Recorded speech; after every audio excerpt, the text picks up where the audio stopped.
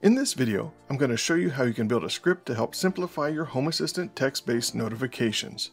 And we're going to discuss notify groups. So stick around because we're about to automate some boring stuff.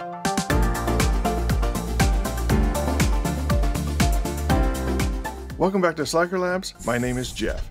I've spent a lot of my recent videos talking about voice or text-to-speech notifications, but there are times when a text-based one comes in handy. With Home Assistant, you have lots of options in this area. Things like messaging apps, chat apps, public apps, private apps. But for me, the best option has been notifications via the Home Assistant companion app. And even with that, you have lots of options as well. Back in the 2021.5 release of Home Assistant, the team made it easier to send actionable notifications via the companion apps. And they brought parity between the Android and the iOS mobile app in terms of notifications.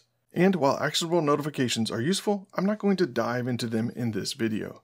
I will leave a link to the Home Assistant post on the actionable notifications in the description in case you want to check it out. Instead, I want to focus this video on building a simple reusable framework that leverages the mobile app notifications so you can spend more time on your automations.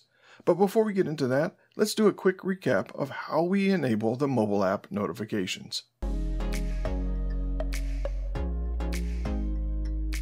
This might be the easiest part of this video, because in order to enable the mobile app notifications, you need three things.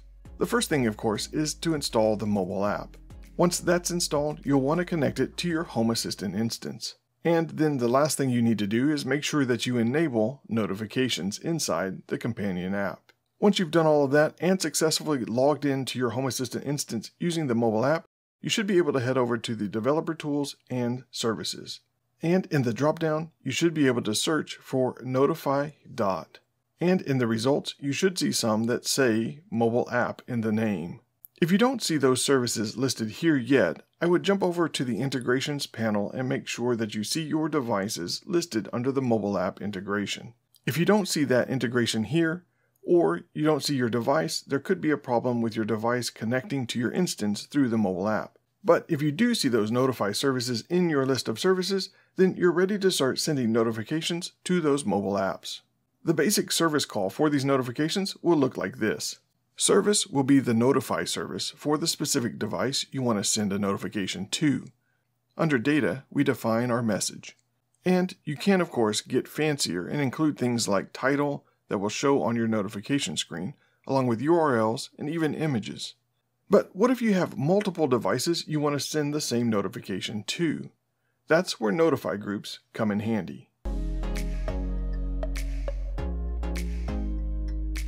Notify groups allow you to create a group of notify services and assign an alias to that group. Then you can use that alias to send a single notification to all of those notify services at one time.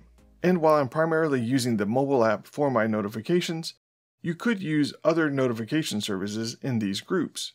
I would just make sure that every notify service you put in one of these groups has the same capabilities, otherwise you might run into errors when you try to push a notification to it. Here you can see I have a group for all of the iOS. This group is used anytime I need to send a message to every device. Typically, this is only used for alerts regarding safety or security. Then I have one for parents. This is for any notification that I don't need to bother the kid about. And I have groups for each person. These groups contain all of the devices that currently have an app on it, although I haven't updated them in a while, so this is a total lie.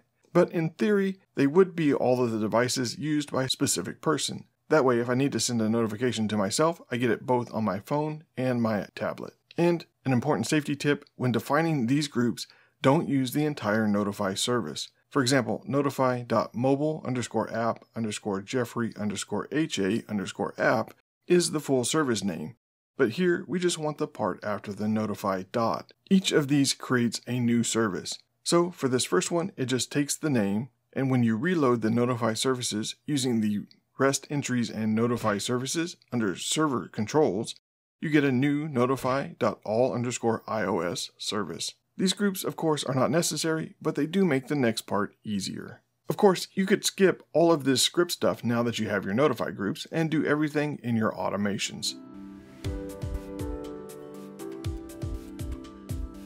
Every time you send a notification to the All iOS group, you could do something like this. Use the group as the service, then data. Under that, you indent to define title and message if you want. Add another data section, and then more indenting if you want URL or to define a push action. Personally, I'm not good at remembering all of these options. But if you build this in the UI, you do get some help working through this, although you're still on the hook for knowing the appropriate field names for the second data section that houses the push and URL options. And for me, usability is one of those things I've tried to make a priority, and text-based notifications can get annoying. And since I don't want to have to remember all of the notification services, the options that are included in those services, or to check whether or not the input boolean for each person is on before sending a text message, I built some helper scripts to help simplify that for me. For example, if I wanted to text normal stuff like a heads up that the washing machine is finished, I can just call the text notify underscore Jeff script, and all I have to do is pass it a message. The script then checks to see if my text notification input boolean is on, and if so, it sends me the message. I've defined one of these scripts for my wife as well, but even that got too much, so I created one big text notify script and I pass it three parameters.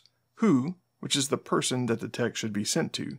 This could be Jeff or it could be one of the group names like parents. Title is what I want to be shown on the notification pop-up that happens on the device, and then message. The script then takes the who, and with the choose action, checks to make sure that text notifications are allowed for that specific person. And if no one is applied, the message goes to the all iOS group. For the majority of the text notifications, this is what I use. But in cases where I need to send an alert, I have a script that simplifies that as well.